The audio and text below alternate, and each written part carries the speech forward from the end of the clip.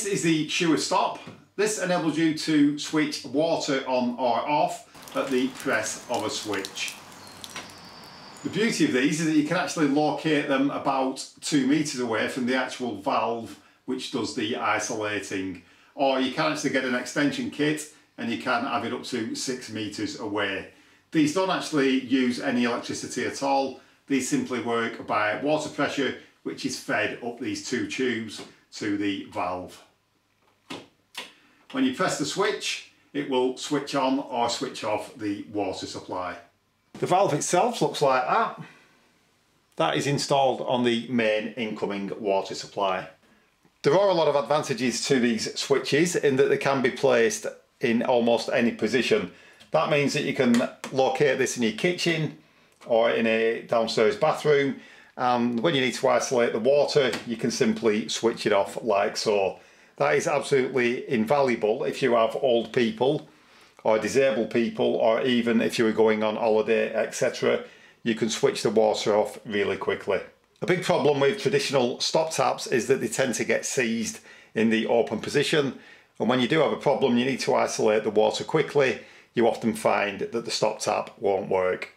I think I paid £51 for this kit from Screwfix. That includes the remote switch. If you don't want the remote switch, you just want the Surestop stopcock on its own, that's about £28.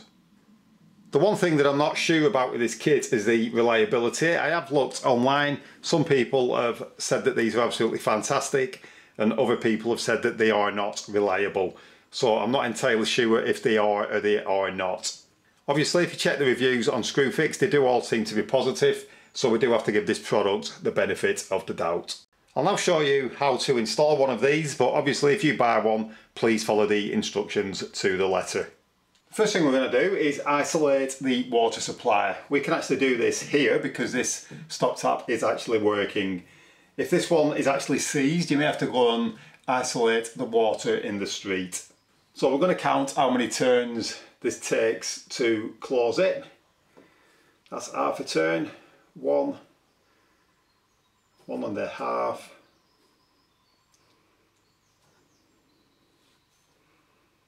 two. So it's almost two full turns to isolate that.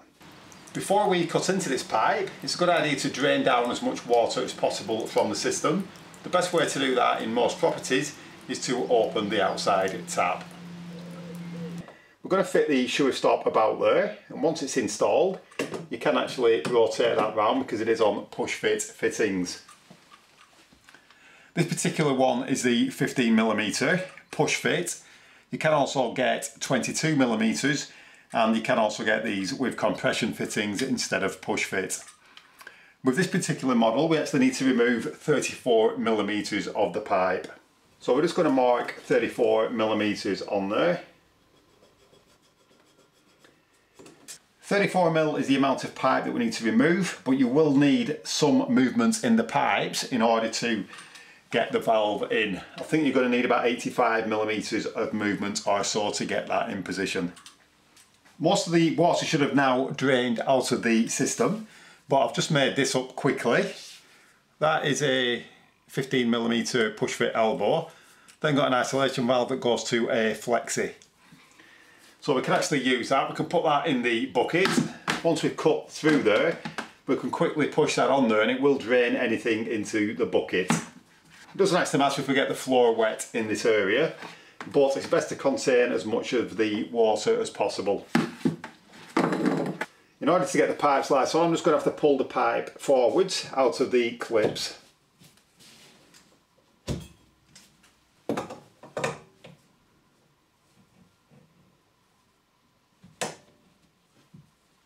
We can then just give that a few turns. It's important when you use a pipe slice that you go in the correct direction. This one has a arrow on it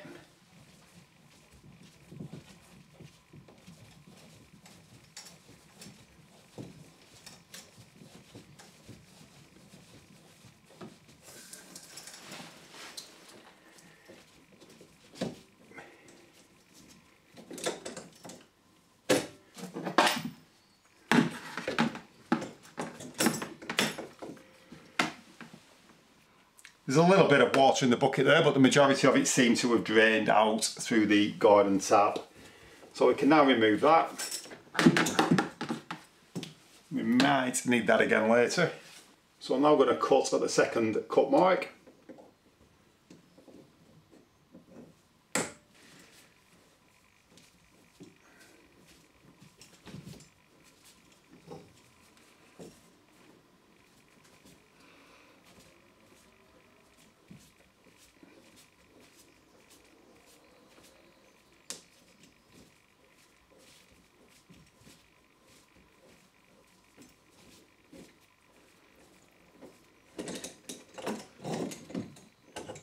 We now need to deburr both pieces of cut pipe. I'm just going to put a bag over there to stop any of the copper debris dropping down the hole.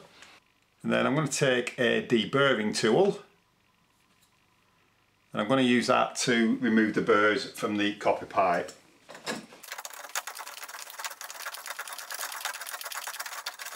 That will deburr it internally and externally.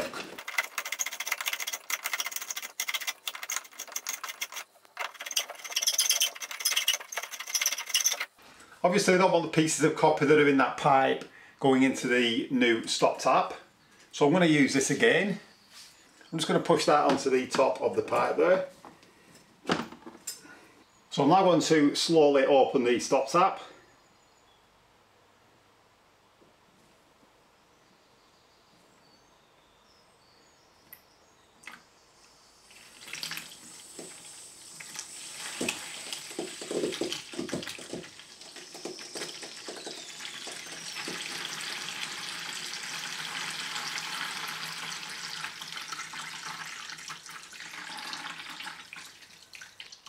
Then after a few seconds we can shut that back off again.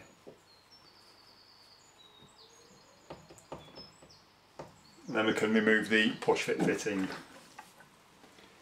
Now what we need to do is take the Surestop and shoer the direction of floors in the correct direction. I'm just going to push that on there. And I'm going to push the pipe back into the top as that will go and then we can clip the pipes back into position.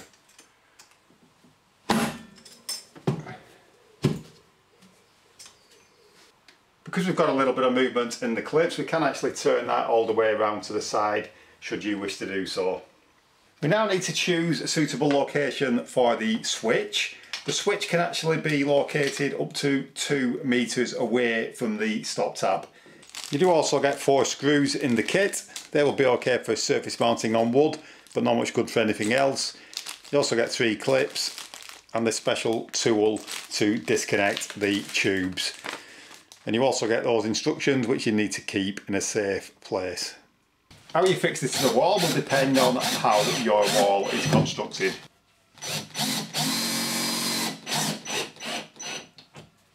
So this is the pipe that came with the kit and this is two meters long. You can actually cut this to size should you wish to do so. Simply pull the tubes out of the sheathing and then you can cut the sheathing and then you can cut the pipe to size. This actually comes with this attached to the switch which tells you that the actual bit sticking out from the sheathing needs to be 90 mil and that both of these are already pre-cut to 90 mil. Obviously, if we measure that on there, that is nowhere near 90 mil. Just get the other end, and that is an absolute mile away from 90 mil. So before we install this pipe, we're going to trim both of these pieces of pipe back to 90 mil. So we're just going to put that on there, and we'll just mark both of those at 90 mil.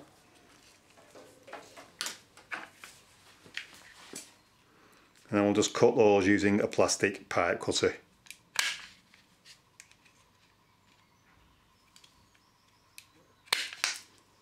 You can of course conceal this in partition walls etc should you wish to do so or you can surface mount it.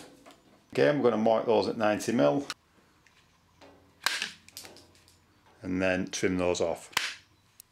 At the back there, there is space to put a cable tie, so we're just going to put that in there.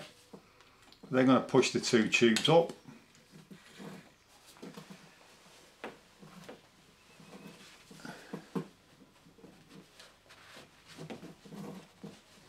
Push the sheathing through the hole. We're going to ensure that that tightens around the sheathing.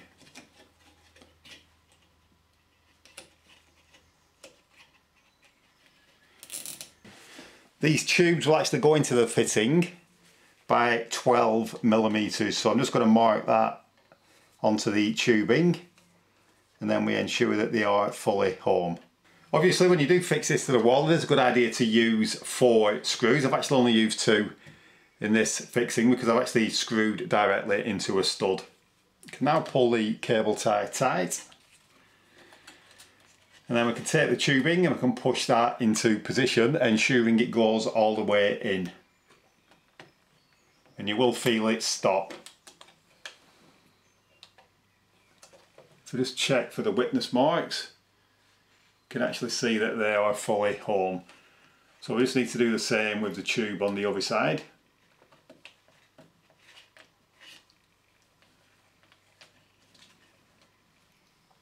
We're not going to push that back into position until we've done the commissioning of the Sure Stop. Now at the valve end, we just need to connect up the two 4mm pipes. And obviously you need to mark these 12mm in so that you can see that they are fully home. We now just need to take those, push those in, and ensuring they go all the way home.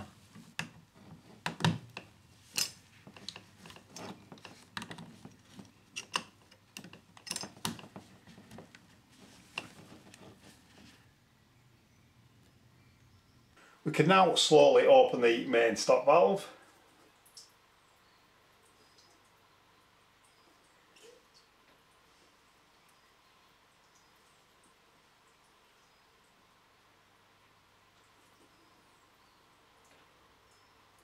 So that is back to where it was before. As you can see the Sure Stop is in the off position. We can now just flick that on. We can then switch that on at the switch. And switch it off, you simply switch it back off.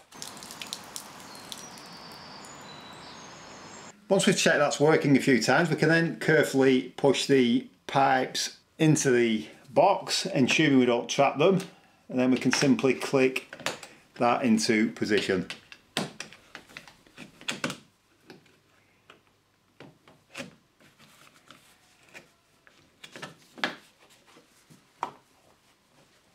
If you have installed one of these previously and you've had a good or a bad experience with it, I would appreciate it if you could post in the comments below and let me know. I hope you found this video useful. If you have and you haven't done so already, please subscribe to the channel.